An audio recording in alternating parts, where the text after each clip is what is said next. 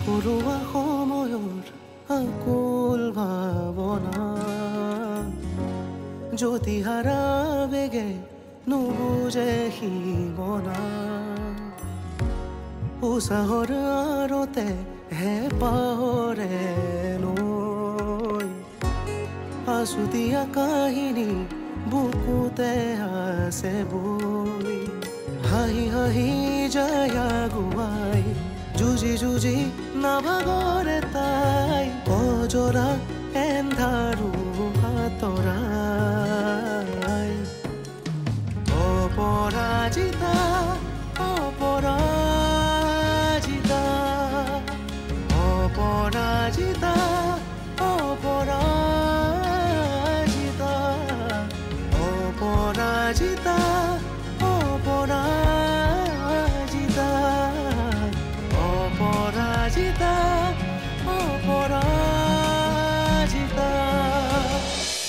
সেইকাৰণে কৈছো নাৰী যিমানেই আগ নাবাহক কিয় সদায় পুৰুষতকৈ এক আঙুল হ'লেও পিছ পৰি থাকে। কাৰণ পুৰুষ সদায় পুৰুষেই সেইকাৰণে পুৰুষৰ দৰে অফিচ চম্ভালিবলৈ যোৱাতকৈ পত্নী মাতৃ আৰু এইখন ঘৰৰ বোৱাৰী হিচাপে পাকঘৰ চম্ভালা। বাৰে বাৰে একেটা কথা কৈ থকাৰ কি প্ৰয়োজন আছে? প্ৰয়োজন আছে কাৰণেই কৈছোঁ। আৰু সেইকাৰণে তুমি যেতিয়ালৈ মই কোৱা মতে নকৰা মই কোৱা কথাবোৰ নুশুনা তেতিয়ালৈকে মই তোমাক কৈয়ে থাকিম। অফিচটোলৈ এবাৰ গৈ শেষবাৰৰ কাৰণে সকলোকে লগ কৰাৰ এটা সুযোগ দিয়ক কোনো প্ৰয়োজন নাই। সেই আধৰুৱা কামখিনি কৰিবলৈ মোৰ মানুহজন আছে নহয়। আৰু অফিচলৈ গৈ কৰ্মচাৰীখিনিক লগ কৰি এখেতৰ বিৰুদ্ধে বিষ ঢালিব নালাগে। নহয় বাইদেউ। কি হয় কি নহয় মই সকলো জানো। বাইদেউ। হেৰি? আপুনি অফিচলৈ যাওক পলম হৈছে নহয়? অন্তত কামখিনি কৈছোৱে দেখোন এখেতে কৰিব বুলি।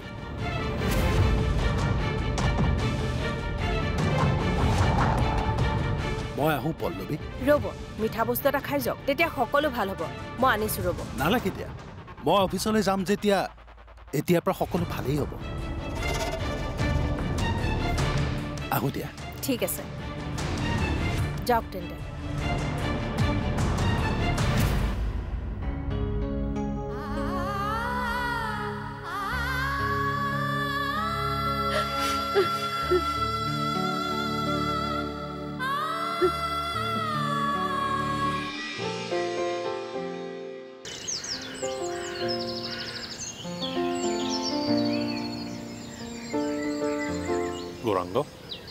মই অলপ অফিচৰ পৰা আহোঁগৈ। ঠিক আছে। আজি এপাক চাইটলৈও যাব লাগিব। গতিকে আহোঁতে দেৰি হ'ব। তই নিবেদিতাক মোৰ কাৰণে দুপৰীয়া ভাত বনাব মানা কৰিবি। হ'ব দে। মই বাহিৰতে খাই আহিম।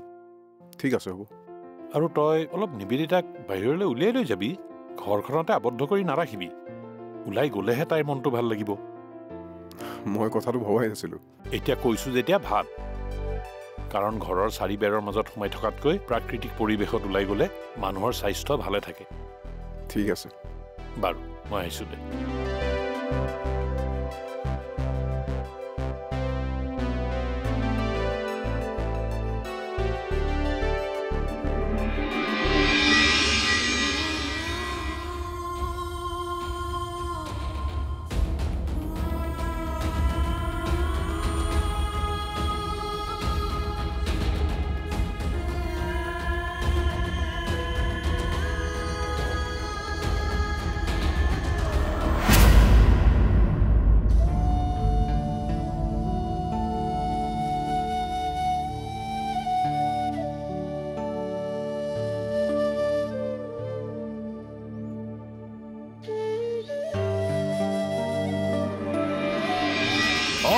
পুতৌ কৰি দিছিল তোমাক। যি দেউতাৰ আজ্ঞা বুলি ভাবি আমি অনিচ্ছা স্বত্বেও তাক সমৰ্থন কৰিছিলোঁ। দাদা? কাৰণ ব্যৱসায় চলোৱাৰ যোগ্যতা তোমাৰ তেতিয়াও নাছিল এতিয়াও নাই আৰু ভৱিষ্যতো নহয় অপৰাজিতা।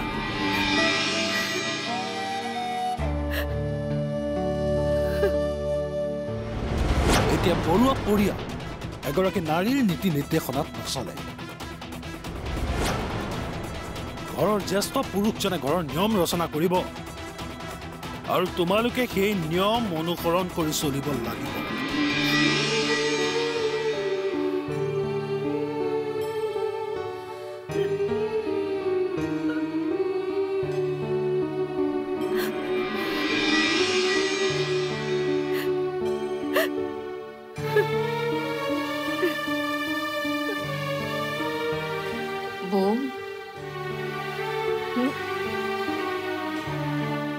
মনটো কিয় মাৰি আছে মই বুজি পাইছোঁ। কিন্তু এনেকৈ নাথাকিবচোন বৌ।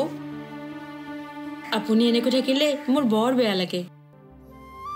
ববী। কাৰণ এইখন ঘৰত সকলোতকৈ সন্মান আপুনি মোক বেছিকৈ কৰে। কি? অঁ বৌ। নহ'লে ডাঙৰ বৌয়েতো মোক গালিয়ে পাৰি থাকে। তেনেকৈ নকবা অ' ববী। বাইদেৱে শুনিলে বেয়া পাব। শুনিলেও গালিহে পাৰিব? পাৰক দিয়ক। কাম কৰা মানুহ যেতিয়া গালিটো শুনিবই লাগিব। ববী?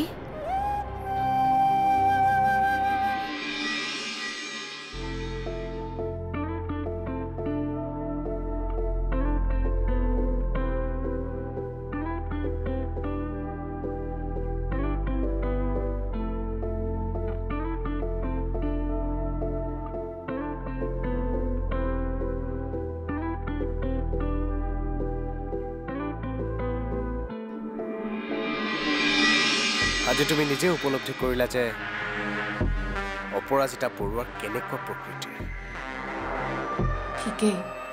ভুল বুলি মই কাইটতেই হাত থলোঁ কিন্তু এতিয়া আৰু সেই ভুল তোমাৰ নহয়। কাৰণ তোমাৰ কাষত এতিয়া মই আছো। আৰু ফ্ৰেণ্ডশ্বিপ কৰিছো যেতিয়া ফ্ৰেণ্ডশ্বিপৰ মূল্য মই দিব জানো। কোনোবাতো আছে যিয়ে মোৰ মনৰ কথা ভাবে মোক নিজে সহায় কৰিবলৈ আগবাঢ়িও আহিছে। নহ'লেনো আজিৰ দিনত মা দেউতাৰ বাহিৰে কোনে কাৰ কথা ভাবে?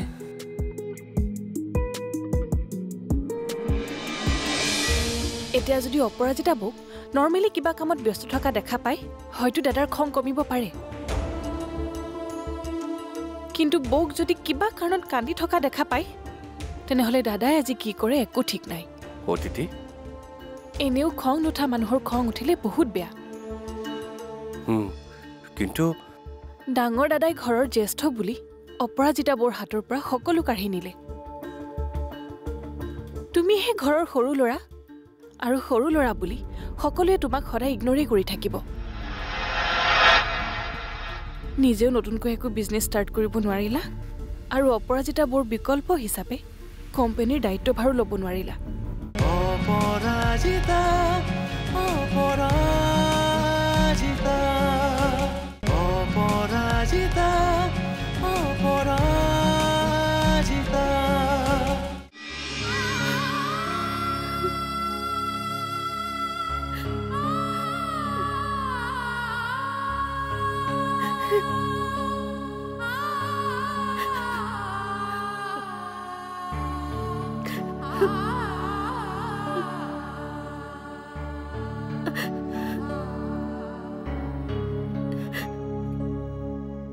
অপৰাজিতা। চোৱা তুমি মোৰ আগত তোমাৰ চকু পানী লুকুৱাব নালাগে। মই তোমাৰ চকুৰ চকু পানীৰ কাৰণটো জানো। শান্তনু? অঁ।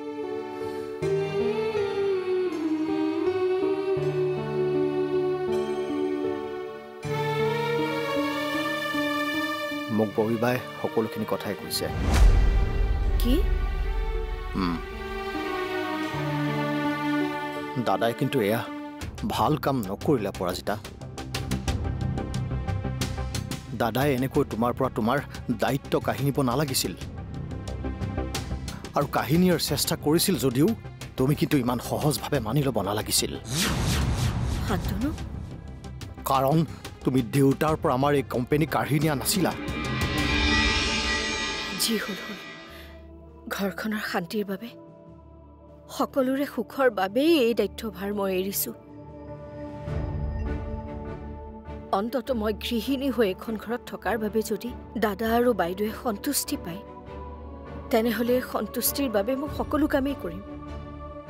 তাৰ বাবে তাৰ বাবে তুমি তোমাৰ কি নিজৰ পৰিচয়ো হেৰুৱাই পেলাবা? তোমাৰ শিক্ষাৰ তোমাৰ পৰিশ্ৰমৰ উচিত মূল্য তুমি পাবই লাগিব অপৰাজিতা কোনেও তোমাক এনেকৈ প্ৰদৰ্শিত কৰি তোমাৰ সন্মান হানি কৰি তোমাৰ ওপৰত অন্যায় কৰিব নোৱাৰে। যিয়ে নাৰীক সন্মান কৰিব নাজানে আৰু কষ্টৰ উচিত মূল্যও দিব নাজানে সেয়া লাগে মোৰ দাদা নবৈ নহওক কিয় তেওঁলোকৰ বিৰুদ্ধে মই কিন্তু মাত মাতিমেই। কি? অঁ।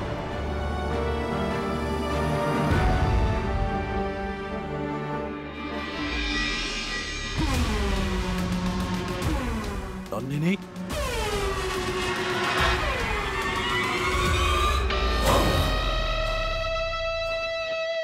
ছাৰ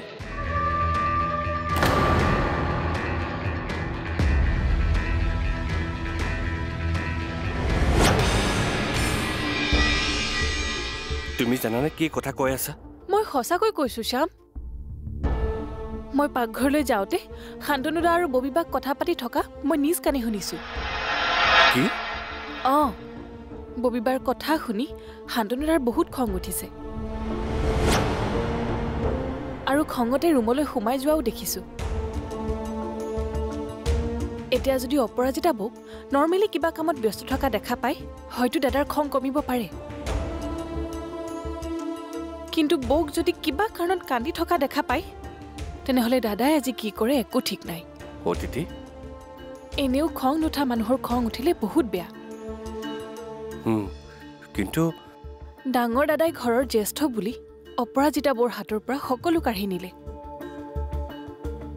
তুমিহে ঘৰৰ সৰু ল'ৰা আৰু সৰু ল'ৰা বুলি সকলোৱে তোমাক সদায় ইগনৰেই কৰি থাকিব। নিজেও নতুনকৈ একো বিজনেছ ষ্টাৰ্ট কৰিব নোৱাৰিলা আৰু অপৰাজিতা বৰ বিকল্প হিচাপে কোম্পানীৰ দায়িত্বভাৰো ল'ব নোৱাৰিলা। তুমি ঘৰখনত উপস্থিত থকাৰ পিছতো তোমাৰ বিপৰীতে ডাঙৰ দাদাৰ হাতলৈ সকলো গুচি গ'ল। ইয়াকে কয় সময়ৰ শৰ সময়ত মাৰা। যিডাল শৰ ডাঙৰ দাদাই সঠিক সময়ত সঠিক পৰিস্থিতিৰ সাপেক্ষে মাৰিলে। কি? অঁ যিটো ডাঙৰ দাদাই কৰিব পাৰিলে কিন্তু তুমিহে নোৱাৰিলা।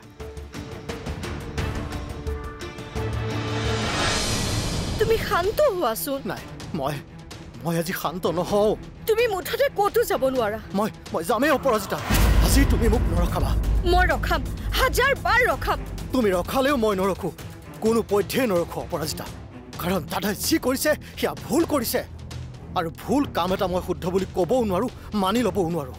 শান্তনু আৰে তুমি মোৰ হাতখন এৰি দিয়া। মোক ৰখাবলৈ তুমি চেষ্টা নকৰিবা।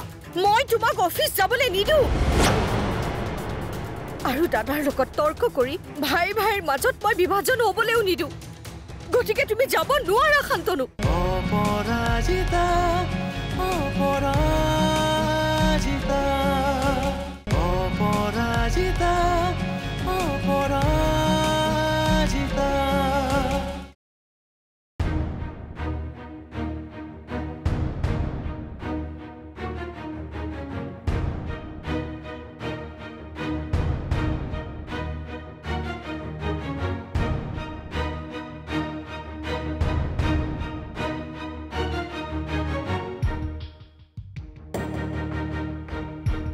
ইমান বছৰে মই মোৰ পাবলগীয়া অধিকাৰৰ পৰা বঞ্চিত আছিলোঁ।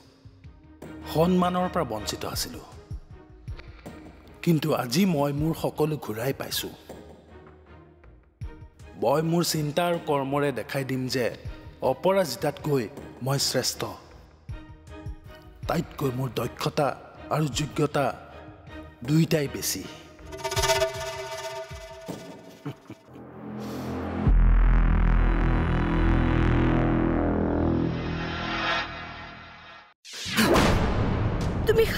হোৱাচোন নাই মই মই আজি শান্ত নহওঁ।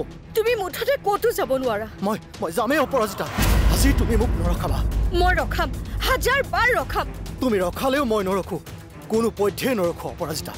কাৰণ দাদাই যি কৰিছে সেয়া ভুল কৰিছে। আৰু ভুল কাম এটা মই শুদ্ধ বুলি ক'বও নোৱাৰোঁ মানি ল'বও নোৱাৰোঁ। শান্তনু আৰে তুমি মোৰ হাতখন এৰি দিয়া। মোক ৰখাবলৈ তুমি চেষ্টা নকৰিবা। মই তোমাক অফিচ যাবলৈ নিদিওঁ। আৰু দাদাৰ লগত তৰ্ক কৰি ভাই ভাইৰ মাজত মই বিভাজন হ'বলৈও নিদিওঁ। গতিকে তুমি যাব নোৱাৰা শান্তনু। মই যাম যাম যাম যামেই। শান্তনু শান্তনু শুনাচোন। শান্তনু!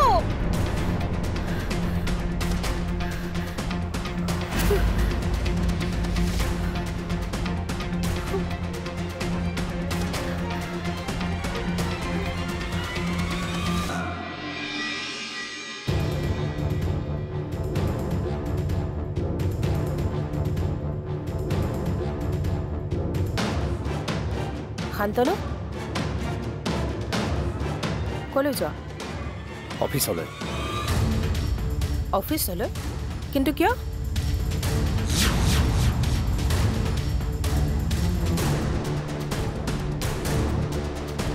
অলপ পাছত সকলো গম পাবা। শান্তনু পিছফালৰ পৰা নামাতিবা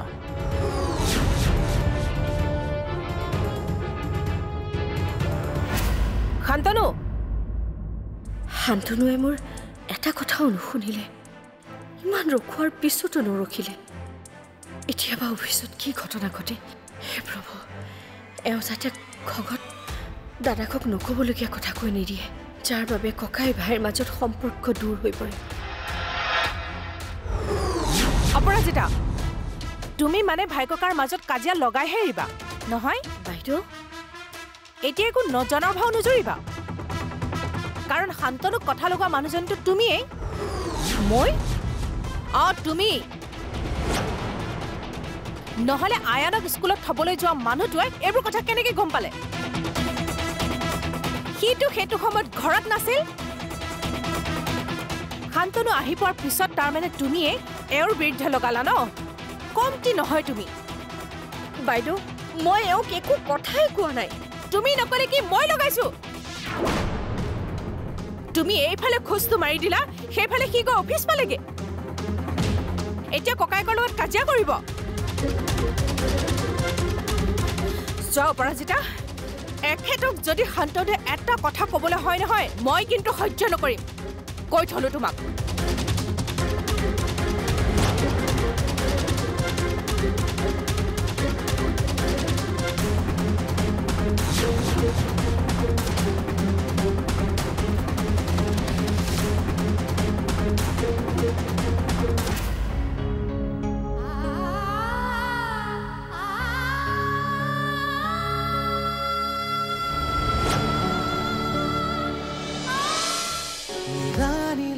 নীলা নীলিমাৰে প্ৰণয়খনা বৰষুণ ঘন কোলা নিশাৰ তুমি যেন নিৰাজ নিশাৰ দাকত আছে বহু কথা শুই বাতৰুৱা ঠিকনাত কোন আছে ৰৈ। বুকুতে আধাৰি খাগান চকুতে के निशान पैथरे घूमोती नीति तैकिता अपराजिता